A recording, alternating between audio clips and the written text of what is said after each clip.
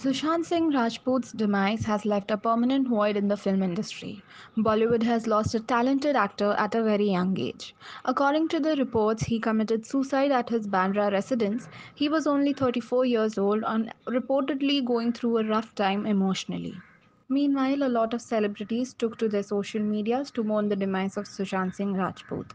His co-stars Shraddha Kapoor, Kriti Sanon, Ranvir Shorey and more attended the funeral in Mumbai.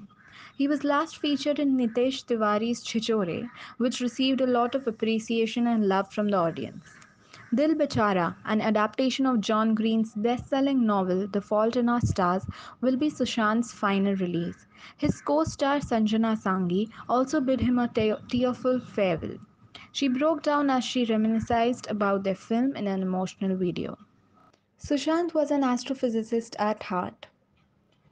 After engineering, he started his career with television serial Kis Desh Mein Hai Mera Dil, followed by Pavitra Rishta and two dance reality shows. He made his Bollywood debut in Kai Po Che 2013. His other notable movies include Shuddh Desi Romance, Detective Byomkesh Bakshi, and MS Dhoni The Untold Story. This sad event has started a row of addressing mental health now. While on the other hand, it is the celebrities which have come up to talk about how outsiders are treated in the nepotism driven Bollywood industry.